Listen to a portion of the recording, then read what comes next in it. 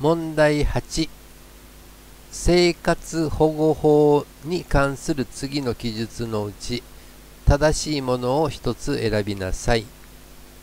1生活保護は家族を単位とした実施が原則である。2生活保護は生活困窮の理由がやむを得ない場合でなければ受けることができない。3医療扶助は原則として現金で給付される。4保護の内容の決定には要保護者の年齢性別健康状態などは考慮されない。5生活保護受給者の介護保険の保険料は生活扶助として給付される。はい生活保護法これ大事ですね。えっと答えは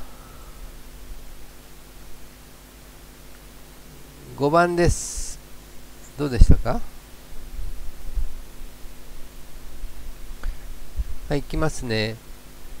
1番、生活保護は家族を単位とした実施が原則である。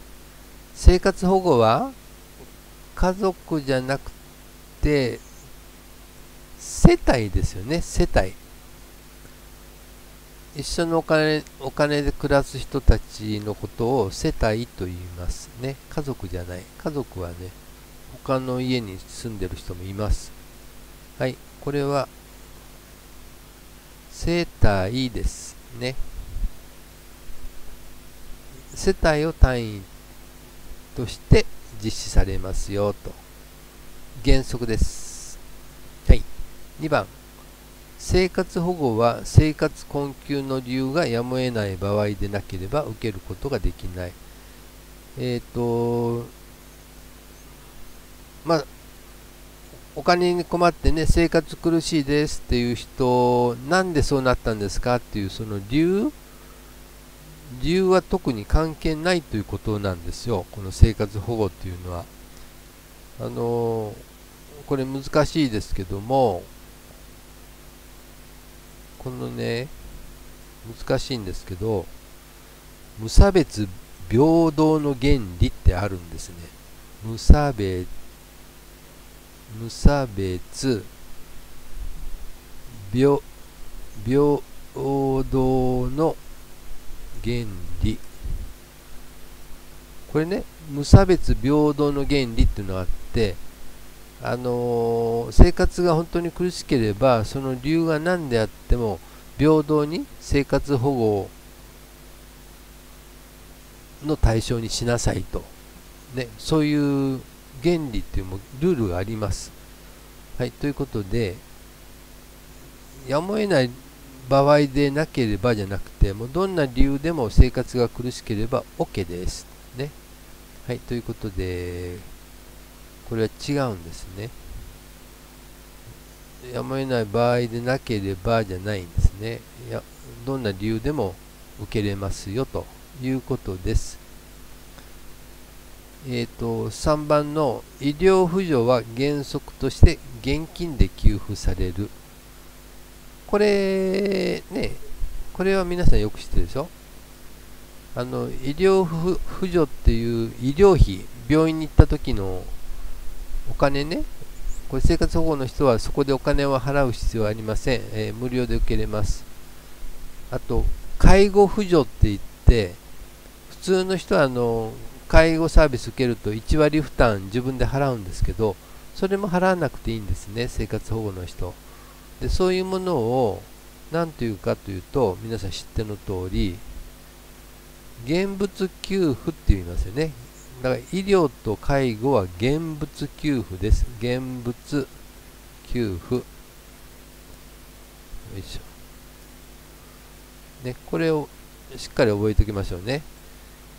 医療扶助と介護扶助は現物給付です。現金での給付ではありませんと。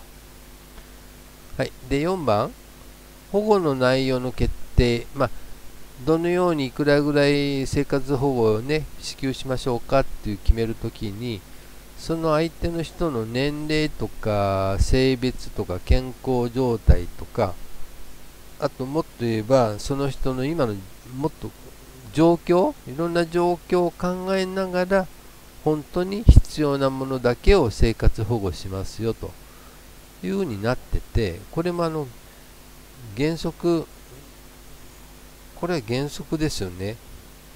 えっ、ー、と、なんという原則これもまた難しいんです。これね、日本語読んでもよくわかんないんですけど、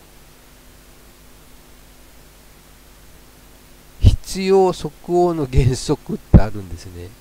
必要即応の原則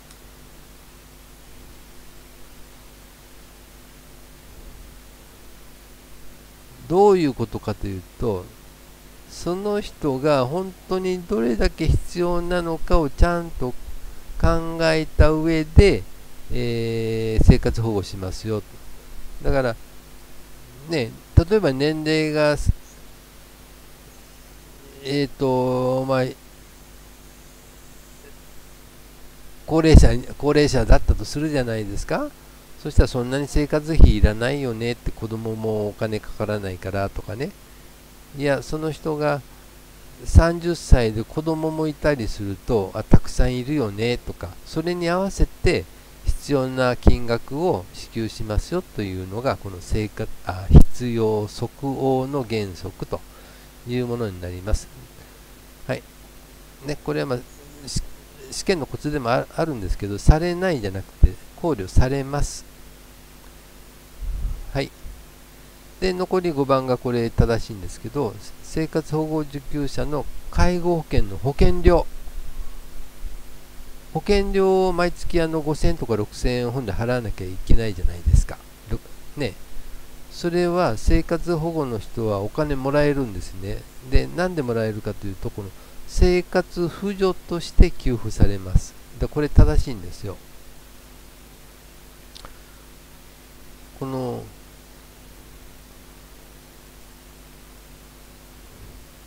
生活扶助っていうのは、ね、えー、えっと水水道代？え水道代とかね。電気代とか。あと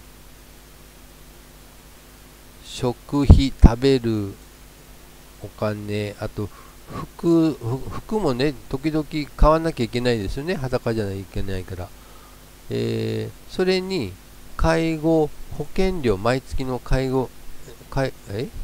介護保険料などはい生活扶助というのはですね、水道代とか電気代とか、要は生活するのに必要な最低限の金、食費食べますよね。あと服も着ますよね。あと、介護保険に入ってる人は介護保険料。ね。それが計算されて毎月お金をいただけるというのがこの生活扶助です。はい、答えは5番です。